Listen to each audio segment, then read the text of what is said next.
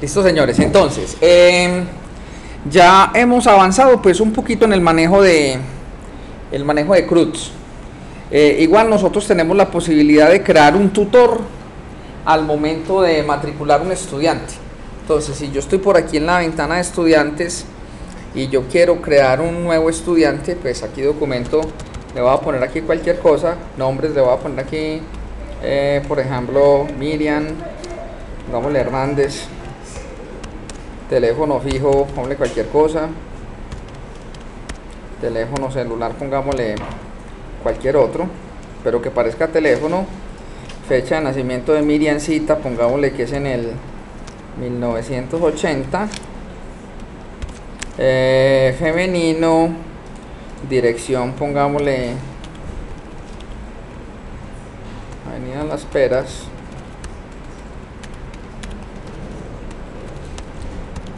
número, eso, tipo de sangre, ponle cualquier cosa, email, pongámosle el mío por si hay que recuperación de carnet y carnet es algo que asignamos y lo ponemos acá. Entonces a medida de yo ingresar una de ingresar cualquier persona si nosotros nos metemos aquí a la opción de si le damos clic aquí a la opción de tutores pues me dice seleccione un tutor y ya me aparecen los tutores que hay en el en, aquí a este seleccionar un tutor nos toca colocarle también un botoncito de buscar porque se nos va esos combo voz no funcionan bien cuando las listas ya son demasiado grandes, ya no son muy óptimas. Entonces luego le mejoramos este tutor y le ponemos un botoncito aquí para poder buscar los tutores. Pero entonces, si yo no tengo como tutor, pues yo le puedo dar nuevo tutor. Ingresamos aquí cualquier tutor, entonces aquí póngale que sea, por ejemplo, Rosalba, Rosalba Incapié.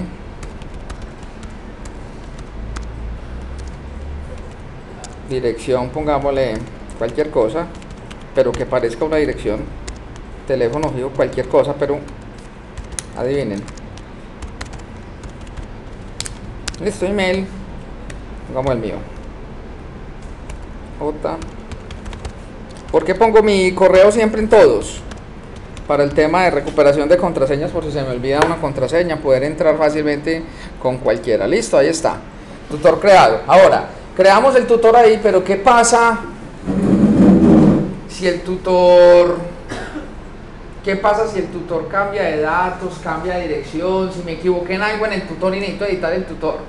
Entonces, si necesito editar el tutor, yo les dije que por favor eh, les quedó como tarea a la administración que le coloquemos aquí tutores. Y al ponerle tutores, vea que ahí están todos los tutores, incluyendo el que acabamos de crear por el otro lado. Obvio, debe aparecer acá. Si yo quisiera, también matriculo aquí el tutor con nuevo, pues simplemente nuevo, él me va a mostrar el formularito. Ahora, en este tutor que tenemos, si yo lo quiero editar porque me equivoqué por decir algo en el teléfono, entonces le digo editar y ya cambia el teléfono, lo va a cambiar a 544 6677 y le decimos editar, tarán, registro actualizado. Y si observáis, ya el tutor quedó con su nuevo teléfono. Ahora, la idea es que a estos buscar les hagamos unos buscar bien bacanos. Sí. El tutor tiene el correo. ¿Cómo? El correo lo tenía ahí. El tutor tiene correo. No que no lo estamos mostrando acá. Pero ahí en el editar. Sí, claro. Cuando le decimos aquí editar, él me jala el correo que le asignamos. Vea, cambiémoslo a ver si, como usted no me. Actualizar. Claro, y lo podemos actualizar. No se puede cambiar el código de usuario. Eso no se debe cambiar, pero si el correo, claro, la persona puede cambiar de correo. Sí. Supongamos que este ya no utiliza la cuenta de Gmail, sino que este Pero persona... Pero Sí. persona tiene asignado otro correo y le, y le ponen a otro el mismo correo. Eh, eso se puede validar por el membership. Por el membership yo le puedo colocar que el correo sea único, que es lo que les quiero mostrar ahora. Yo no lo tengo único porque a mí no me conviene, pero, pero dos usuarios podrían tener mismo correo. Es más, yo puedo tener mismo correo porque yo puedo ser instructor y al mismo tiempo puedo ser tutor y al mismo tiempo puedo ser cliente, estudiante. Yo puedo tener todos los perfiles. Yo puedo estar en todas las tablas compartiendo un mismo usuario. Entonces, si le decimos aquí editar, él actualiza, entonces el que él actualiza los datos del tutor los actualiza en la tabla de tutor, pero el correo lo debe actualizar en dónde? En el membership. Si no me creen, yo aquí le digo editar, ay, pues madre, no actualizó. Bueno, ahí tengo un link. ¿Listo? No. Tengo que mirar a esa parte porque pensé que lo había hecho y no. Esa me queda faltando. Sí lo estoy jalando, pero no lo estoy es actualizando. Falta actualizar eso. Cuando actualice aquí, me toca hacerle un update a ese, a ese usuario, no lo he hecho. Bueno, ahora, eh, ¿qué más? A estas opciones hagámosles un buscar. ¿Por qué? Porque ahora tenemos poquitos datos, ¿cierto?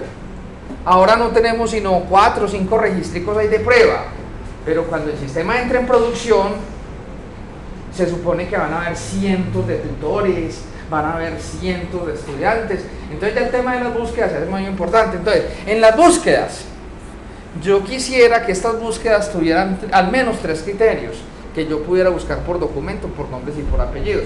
Me explico. Si yo le digo aquí buscar por documento y no le digo nada, ¿qué me trae? Me los trae todos. No, yo quiero los documentos que tengan un 43. Entonces no trae sino a Gabriel García, a José García y a Rosalba Capié. Ambos tienen 43. Yo creo que ya el criterio no lo podría sofisticar pues mucho, pero creo que así está bien. No, yo quiero buscar es todos los nombres. No, yo quiero buscar los clientes que tengan J en el nombre. Entonces ahí aparece, no, pero yo quiero son los José nomás. Ahí me aparecen Gabriel José y José Saramago. No, yo quiero nomás los apellidos que sean Sara. Y ahí aparece José Saramago. ¿Entendés? Tenemos un buscarcito, tenemos un buscadorcito ya muy bueno. Ahora, cuando yo lo busque aquí, la idea es que aquí podamos hacer todas las operaciones. ¿Cuáles son las dos operaciones válidas para este registro? Editar y borrar, ahí tenemos. Si le decimos editar, nos muestran los datos de gente. ¿Listo para qué? Para cambiarlo. Y si le decimos eliminar, pues él nos dice, ¿está seguro de borrar el registro? Y obviamente esa validación, él borra, verifica que no tenga registros relacionados. Él solo va a poder borrar registros como nuevecitos que yo creí y me equivoqué. Porque un registro que ya le haya hecho historia, eso no se va a dejar borrar y no se puede borrar. ¿Estamos de acuerdo? Bueno, ahora, entonces la idea es que hagan así de tal cual, por eso les voy a grabar videito de esto, la idea es que hagan así el de tutores, este es el reto. Sí, ok, ya hicimos una parte, ya lo estamos insertando por allá. ¿Será que hay código que se puede reutilizar para este? El método de insert tutor debe ser el mismo, no me pongan a hacer otro método pero hay que hacer toda la interfaz gráfica, el buscar. Ahora, si observáis, ya les voy a mostrar el código. Vean que el buscar lo hice más bonito. Me arrastré estos iconos, se los puse allá. Ah, es que esos botones, eh carajo, esos botones quedan muy feitos. Entonces preferí colocarle más bien grafiquito, se ve más bonito, ¿no? Ahora, lo mismo, de forma muy similar, es que tutores y docentes se parecen mucho. Yo los dos los hice en paralelo lo que copiaban uno lo pegaban otro, lo que copiaban uno lo pegaban otro, y lo fui haciendo así como los dos formularios al, mismo tiempo. Miremos el de docentes. ¿Cómo operar el de docentes? El de docentes, hagan de colocarle un botón aquí administración porque me está tocando dar mucha vuelta para llegar a esto. Si le decimos aquí profesores, desde profesores tenemos lo mismo. Ahí yo he matriculado dos profesoritos. Podemos matricular otro profesorito nuevo. Me matricula, se coloca aquí el documento. Nombres, vamos a colocarle aquí que la profesora se llame Natalia París. Listo, dirección, pongámosle aquí calle 56, número Chuchín Pancán, teléfono Punchuntun, Tarun Tarun, teléfono móvil 311 567 8080, correo, pongo mi correo nuevo. Ahí está, registro ingresado. Entonces vean que aquí tenemos ya el tema de usuarios. Ay, no, que yo quiero ya, entonces aquí tenemos la opción de editar, que debe mostrar, muestra los datos. ¿El documento se podrá editar? Me puede editar, con ese documento casamos el usuario. Entonces, vean, lo estamos mostrando ahí, pero no, no lo dejamos mostrar. El resto de campos, recuerden, el email se debe actualizar en el membership. Los otros datos se deben de actualizar en la tabla docentes, para que lo tengan en cuenta que a mí me quedó faltando, ya voy a corregirlo, es más, lo puedo corregir incluso aquí con ustedes. Ahora, si observáis el método borrar, entonces el borrar también desea borrar con confirmación, que digas que sí o no. Ese borrar no lo vamos a poder usar cuando qué? Un docente que ya le hayamos matriculado cursos, ya no me puede borrar, ya quedó de historia. ¿Sí o qué? Bueno, ahora, ¿qué más tenemos? Y el buscar lo mismo cuando hagan el buscar, vamos a ponerle buscar por nombre. Sea, yo quiero buscar todos los docentes que sean de apellido París. Ahí aparece, sí señor. En el caso de que el docu- una persona puede ingresar el documento erróneamente, entonces tiene que eliminarlo. Tiene que eliminarlo, en ese caso lo tiene que eliminar. Cuando usted modifica, ingresa mal una clave primaria en un registro, hay formas de no borrarlo, pero eso hay que dar unas volteretas, hermano, y eso arri- arriesga uno mucho la integridad del sistema. Yo prefiero, en caso de que yo ingrese algo, una cédula mal ingresada, la recomendación es elimine el registro y vuélvalo a crear. No se ponga usted a modificar documentos que se pega la encartada del siglo. Ahí tenemos, entonces ahí nos aparece. Que yo lo quiero editar, le digo aquí el botón de editar y volvemos a llamar el mismo editar de aquí. No hay que hacerlo dos veces, sino llamar el código donde estamos. Ahora, y como ñapita, como ñapita que les dije, ¿se acuerdan? A ver, nosotros por aquí también teníamos la parte de administración de la escuela, teníamos estudiantes. Aquí en estudiantes nos está faltando el botón de nuevo no lo hemos hecho. Ah, perdón, no, no, no, perdón. Nos falta el editar. Este no lo hemos hecho, está ahí con el alert. Y aquí tampoco hemos hecho el buscar. Ese yo los explico, ese ya se los explico en clase. Ahora, lo que sí tengo en ñapita es esto. Recuerden que nosotros en recintos también habíamos puesto un botoncito de buscar, ¿cierto? Entonces le dice cuando le diga buscar, ya le puse todas las mismas operaciones que hay acá se las posemos allá. ¿Para qué? Porque si no, no tiene sentido el buscar. ¿Para qué buscarlo? Para después saber a qué le adiciono, dónde le adiciono una localidad o cómo lo consulto. Entonces, simplemente le ponemos esto y ya le digo aquí adicionar. Pues aquí está el recinto de niños o le digo consultar. Aquí ya me aparecen las localidades con la opción de borrarlas. Entonces, son ventanas que se van llamando unas a otras. Algo acerca de la seguridad muy importante. Yo a ustedes les mandé un correo hoy con un pedacito de código de membership. Ese lo van a usar. Dije, hagan caso omiso. No, no hacen caso omiso. Van a coger ese pedacito de código y ¿dónde lo van a reemplazar? Van a reemplazarme ese codiguito, ya les digo dónde. Por acá tenemos el web config. Bueno, miremos el web config, analicemos una cosa interesante que es que eso apenas lo descubrí en estos días. Si observáis, aquí en el web config yo ya lo cambié. Entonces en el web config, ¿qué le ponemos? ¿Cómo vamos a configurar nosotros la seguridad de nuestra aplicación? Entonces en la seguridad de nuestra aplicación vamos a habilitar este parámetro. Enable Password Retrieval. Y vamos a habilitar el parámetro Password Format en Clear. Cuando yo le pongo el parámetro Password Format en Clear, estoy restándole seguridad a la aplicación. ¿Por qué? Porque estamos viendo que los usuarios, los passwords no se me van a guardar encriptados en la base de datos, se me van a guardar planos. Pero ¿por qué requerimos esto? Porque yo quiero, lo vamos a hacer más adelante, que yo te matriculé a ti como estudiante. Entonces yo quiero que la primera vez que vos entres al sistema ingreses con tu número de cédula. Y la primera vez tu clave inicial es tu mismo número de cédula. Pero cuando entres al sistema, la primera vez él te obligue a cambiarlo. Y yo no puedo hacer eso si guardo el password. Yo no puedo, necesito un método que llama getPassword. Y ese método getPassword no lo podemos hacer si no lo estamos guardando clear. Entonces ténganlo en cuenta.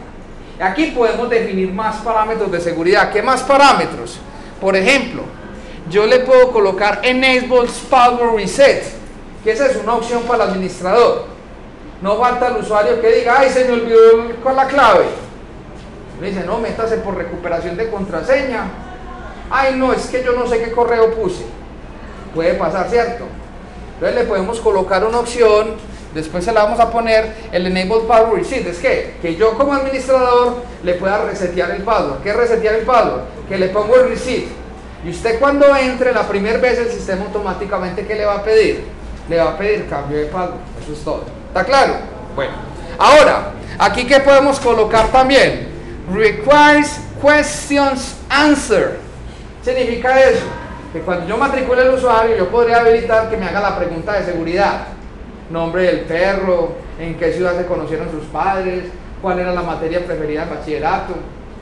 Que para yo recuperar la clave me toque, ahí se las dejo pues, pero nos tocaría hacer cambios en los usuarios y hasta ahora ya pues me da como lochera hacer eso. Ahora, este es el que me dijiste Andrés. Requires unique email yo podría, ahí lo tengo en false. lo puedo colocar en true. Si lo pongo en true no me deja que, no me deja que más de un usuario tenga el mismo correo, pero no prefiero, prefiero dejarlo en false ahí. Y aquí también tenemos otro password bien interesante. Eh, max invalid password attempts, lo tenemos en 5. Un usuario que se equivoque más seis veces le bloquea al usuario. Hay que desbloqueárselo.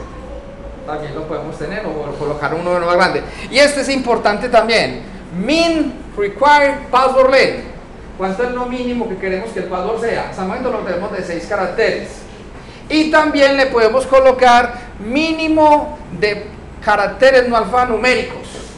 O sea, que el password al menos tenga un punto, un asterisco. Lo tenemos en cero. Pero si lo dejamos ahí en uno, ya el password tiene que tener al menos un carácter no alfanumérico. O sea, un punto, asterisco, signo de admiración, arroba, guion, cualquier cosa. Entonces ve que son parametritos. Entonces, por favor, van a esta línea ya la tienen ustedes en sus web configs. La van a cambiar y la van a reemplazar o simplemente pues digitan todo esto. ¿Listo? Ahora, ¿cómo cambiamos las imágenes en los botones? Se los quiero mostrar porque hay un cambiecito ahí.